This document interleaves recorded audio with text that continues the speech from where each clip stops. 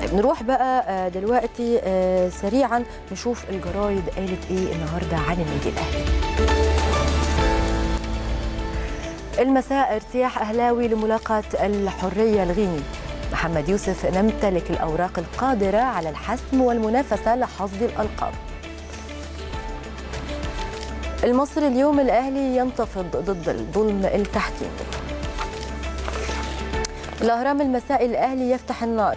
المجلس يهاجم نور الدين ويطلب التحقيق مع الحكام. الأهلي يشكو حكم مباراة الإنتاج لاتحاد الكرة ويطالب بإبعاده عن إدارة المباريات. الأخبار المساء الأهلي حزين والسر في نور الدين. يوسف يلمح لاتجاهات التحكيم والفريق يستعد لأفريقيا. الأهرام الأهلي يطالب بالتحقيق مع نور الدين وإبعاده عن التحكيم يوسف المباراة أظهرت النية المبيتة ضد النادي ولن نسكت على الظلم وسندافع عن حقنا. المصري اليوم عصام عبد الفتاح. نعم الأهلي تعرض لظلم تحكيمي أمام الإنتاج وسنعاقب المخطئ بالاستبعاد. الدستور قرار سري بإيقاف نور الدين ومساعديه بعد أخطاء الأهلي والإنتاج. الوطن. نور الدين لمساعديه غرقتوني وصدمت عندما شاهدت ضربة الجزاء غير المحتسبة والهدف الملغي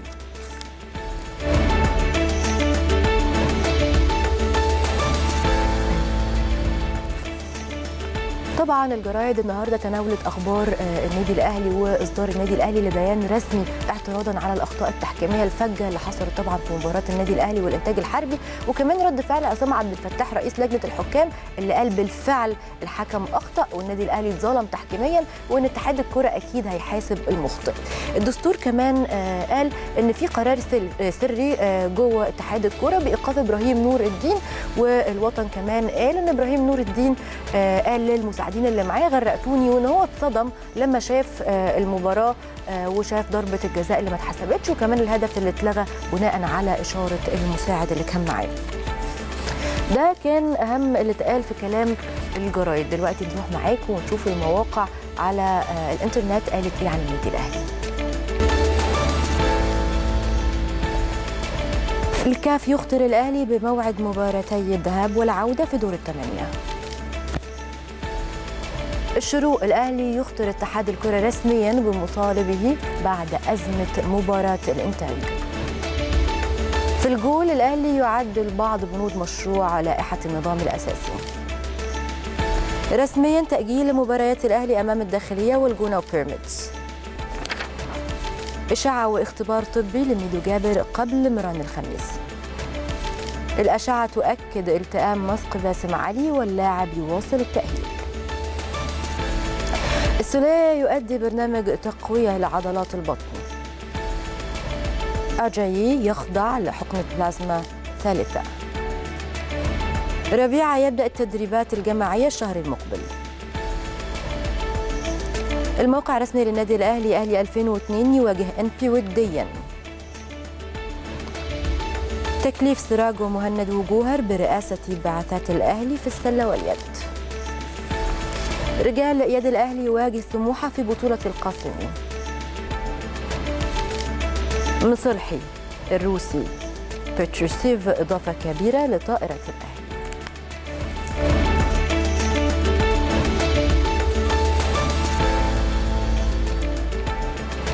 هنبتدي أخبارنا النهارده من يلا كورة. يلا كورة قالت إن تلقت إدارة النادي الأهلي خطاب رسمي من الاتحاد الأفريقي الكاف بيفي بتحديد ميعاد مباراة الذهاب ومباراة العودة في دور ربع النهائي في دوري أبطال أفريقيا. كانت القرعة آه، امبارح اسفرت عن وقوع النادي الأهلي في مواجهة هوريا كوناكري الغيني. وهتقام إن شاء الله مباراة الذهاب يوم 14 سبتمبر الجاري على ملعب 28 سبتمبر في العاصمة الغينيه كوناكري في تمام الساعة 5 مساء بتوقيت القاهرة. وهتكون مباراة العودة إن شاء الله يوم 22 من آه، شهر سبتمبر برضو على ملعب السلام في القاهرة. في تمام الساعة التاسعة مساء بتوقيت القاهرة. كمان الشروق قالت إن أرسل النادي الأهلي خطاب رسمي صباح اليوم لاتحاد الكرة رافضا فيه الأخطاء الفجة اللي ارتكبها طاقم التحكيم في مباراة النادي الأهلي والإنتاج الحربي ويتمسك النادي الأهلي بحقوق ناديه وجت مطالب النادي الأهلي كالتالي. زي ما قلت لكم من شوية إجراء تحقيق عاجل مع طاقم تحكيم مباراة النادي الأهلي والإنتاج الحربي واتخاذ الإجراءات الرادعة لمنع تكرار مثل هذه الأخطاء واعاده النظر في مشاركة مثل هؤلاء الحكام في إدارة مباريات القادمة في الدوري عشان يحققوا مبدأ تكافؤ الفرص والمنافسة الشريفة ما بين الأندية. كمان إن اتحاد الكرة لازم يتحمل مسؤوليته في تطوير منظومة التحكيم باستخدام أحدث الوسائل أو تقنية الفار بالتحديد واللي اقره الاتحاد الدولي لكرة القدم الفيفا لحماية المسابقة. وكمان تطبيق اللعب النظيف أو ال fair play. كمان في الجول قال ان وافق مجلس إدارة النادي الأهلي على تعديل بعض المقترحات اللي تقدم بها أعضاء الجمعية العمومية منها المادة المتعلقة بالتخلف عن حضور الجمعية العمومية ويتم توقيع غرامة عليه وبتقدر بسداد 50% من قيمة الاشتراك السنوي اللي بيخص الأفراد أو الأعضاء من غير أفراد أو باقي أفراد الأسرة. كمان تم إلغاء المادة الخاصة بالمجلس الانتخابي المادة المتعلقة بتفسير أحكام النظام الأساسي وإجراءات تعديلية واللي بتنص على إن مجلس الإدارة ليه الحق في إصدار قرارات في المسائل التي لم تتعرض لها أحكام هذا النظام بما لا يخالف قانون الرياضة والقواعد واللوائح الحاكمة في الاتحادات الرياضية والوطنية. ثانيا يجوز تعديل مادة أو أكثر من مواد في هذا النظام الأساسي بناء على اقتراح من ثلثي أعضاء مجلس الإدارة أو 10% أو 5% أو 5000 عضو تم اقتراح تعديل في المادة الخاصة بتسوية المنازعات. وفي نهاية الاجتماع أكد الخطيب على أن المجلس في انعقاد مستمر لتلبية مقترحات الأعضاء لحد ما يقفلوا أو يغلقوا باب تلقي المقترحات واللي هيكون إن شاء الله يوم 9 سبتمبر. طيب 1 3 كمان قالت إن قررت لجنة المسابقات في الاتحاد المصري لكرة القدم برئاسة عامر حسين تأجيل مباراة الداخلية مع النادي الأهلي ضمن الجولة السادسة والنادي الأهلي مع جونة والمصري مع أنبي ضمن الجولة السابعة وبيراميدز مع النادي الأهلي في الجولة الثامنة من الدوري لموعد هيتحدد فيما بعد بعد طبعا ما يخلص النادي الأهلي ارتباطاته الأفريقية. كمان الموقع رسمي للنادي الأهلي صرح الجهاز الطبي لفريق كرة القدم في النادي الأهلي. إن ميدو جابر لاعب وسط النادي الأهلي هيعمل أشعة قبل ما يستأنف التدريبات الجماعية يوم الخميس اللي جاي عشان يطمنوا على اللاعب لأن هو كان اشتكى من تقل في العضلة الخلفية بعد انتهاء مباراة الإنتاج الحربي الأخيرة وبيستوجب الأمر إجراء إشاعة عشان يحددوا موقف اللاعب من المشاركة في التدريبات الجماعية ويعرفوا إيه هو سبب الشكوى اللي عنده.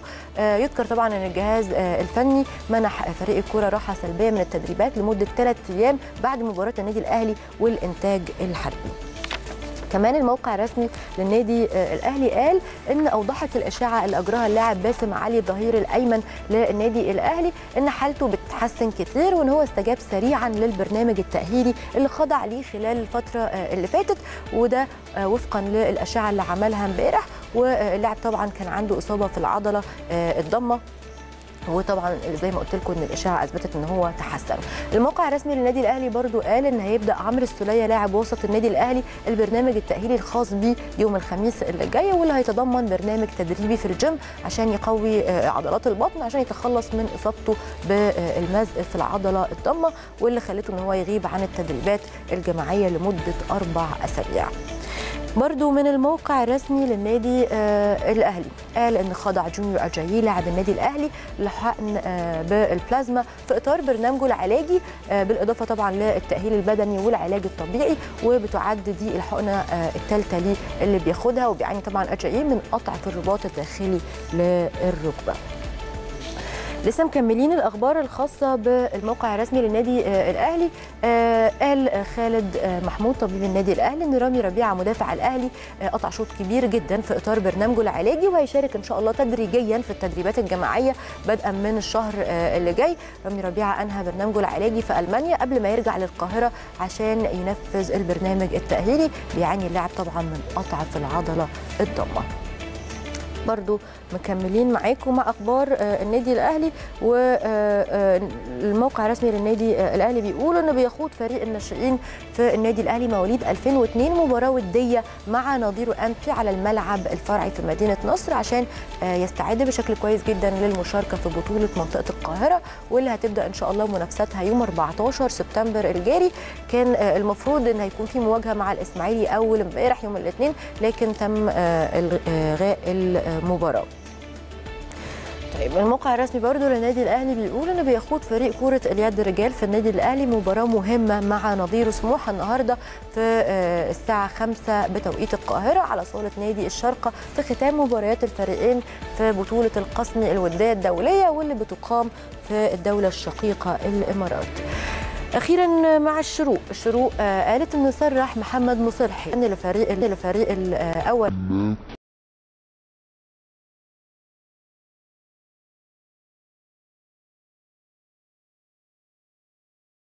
لرغبة الجماهير في الفوز بكل البطولات. آه ودلوقتي بقى هنطلع لفاصل سريع وهنرجع نتابع معاكم بقية فقراتنا في كلام في الميديا. خليكم معانا.